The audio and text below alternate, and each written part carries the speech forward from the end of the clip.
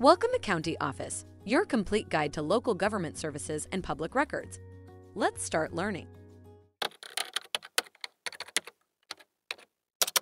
How do I add a joint owner to my property? Adding a joint owner to your property can be done by executing a new deed with the joint owner's name on it. This would require the help of a lawyer or a title company. The new deed should be recorded with the county recorder's office where the property is located.